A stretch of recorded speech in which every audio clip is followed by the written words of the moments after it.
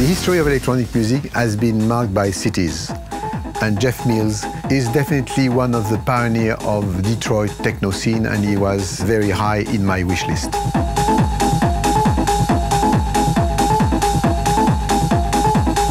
We met each other, uh, I think around the, year, around the year 2000, I think. I had come to Paris to show a new soundtrack that I had made, Fritz Lang's Metropolis.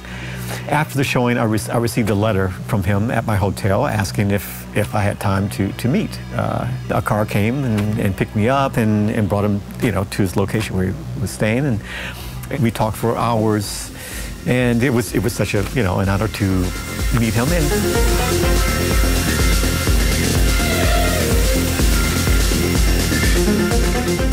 I conceived the track with a slow BPM acceleration, like uh, when you add floor after floor after floor until the top.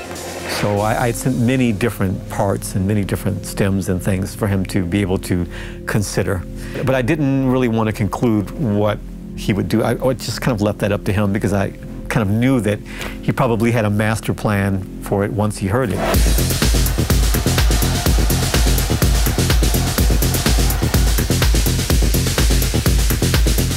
I asked him also to conceive TR-909 solo like a jazz drummer would do.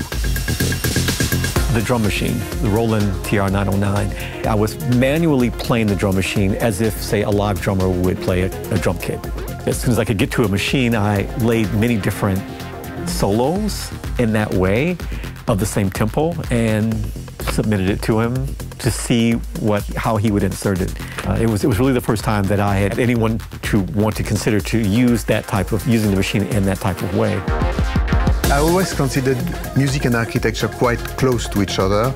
They're both abstract and mathematically organized. Architecture is what I really referred to a lot, especially in the early 90s the process of building something and then once the foundation is built, then, you know, you can experiment and get all crazy with it. I think the final result, you know, what he did with it is just, just magical.